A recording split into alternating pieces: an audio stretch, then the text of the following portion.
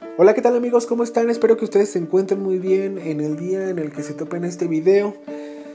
En esta tarde nosotros les vamos a presentar una de las siete luminarias de Valle de Santiago, Guanajuato, que es conocida como la alberca o la alberta. Y bueno, y pues ¿por qué la alberca, no?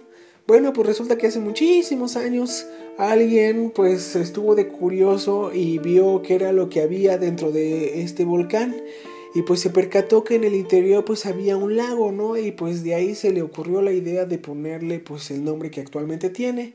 Pero pues no como muchos la conocen es como la Alberta. Y la Alberta, bueno, pues ese nombre es de las leyendas que se tienen en este lugar, ¿no? Algo que tiene que ver con la Alberta que estaba enamorada por ahí de alguien que se llamaba Culiacán y que pues es un cerro que por aquí está muy cerca. La verdad no me sé muy bien la historia, pero bueno, es una de las tantas historias que se tienen acerca de este nombre o acerca de este lugar. Pero bueno, en lo que vamos nosotros recorriendo, lo que vamos bajando a lo que es este la bahía, pues, de, por decirle así, de lo que es la alberca, les quiero decir que para mí este cráter o esta luminaria es de las más representativas de Valle de Santiago, Guanajuato.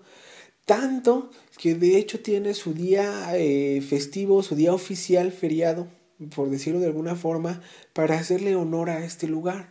Y bueno, que también realmente este volcán está relativamente cerca de lo que es el pueblo, de hecho está pegado, ya tanto ha crecido el pueblo que de hecho ya hay casas en las faldas de este mismo cráter. Tomando referencia al centro de la, del pueblo está aproximadamente a unos 15 o 20 minutos caminando, o sea que si el día de mañana ustedes deciden venir, pueden llegar a esta primera luminaria a 15 o 20 minutos caminando.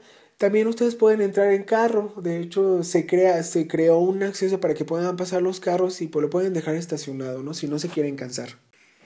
Y bueno, pues en su época de bonanza, pues este lugar pues tenía agua, ¿no? De hecho, en el video, si se puede apreciar, hay una franja blanca que se encuentra dentro del interior de todo lo que es el cráter, que era pues hasta donde llegaba el nivel de agua, ¿no? Y pues aquí venía gente y pues se la pasaba, se la cotorreaba muy, muy bien, o de hecho pues había otro, pues gente de todo, ¿no? Que venía a cotorrear o gente que venía a hacer actividades deportivas. De hecho, se cuentan historias de que en su momento de esplendor de este lugar, pues eh, el, volcán se trababa, se trababa la gente, ¿no? Porque pensaban de hecho que había monstruos prehispánicos eh, como el del lago Ness, o también se tenía la idea pues de que este lugar pues no tenía fondo ni nada, ¿no? Era así como que comunicaba, se comunicaba con el mar.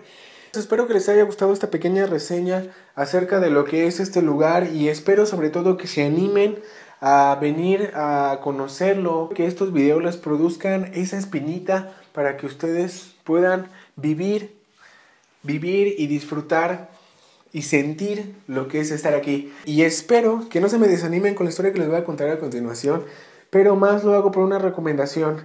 Se dice que aquí en la alberca se aparece una mujer, entonces esa mujer se te monta en la espalda. Si te llega a suceder, lo único que tienes que hacer es darte vueltas alrededor de la alberca pero para esto nunca la debes de ver a la cara mientras das esas tres vueltas, porque si no, pues te llamabas. Entonces, si tú decides venir aquí a este lugar y ves a esa mujer, ya sabes qué hacer.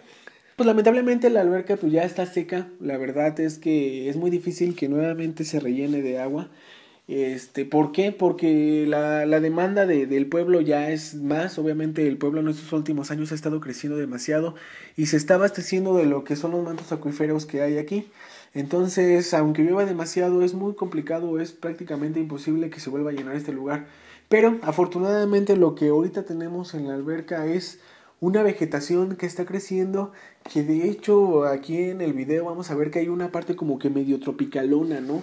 Este, y que la verdad se está poniendo pues, pues, pues muy bonito este lugar y que no se desanimen ustedes en venir. Les dejamos en la parte de la descripción los próximos lugares que vamos a estar visitando y pues esperamos sus recomendaciones o sus comentarios acerca del video.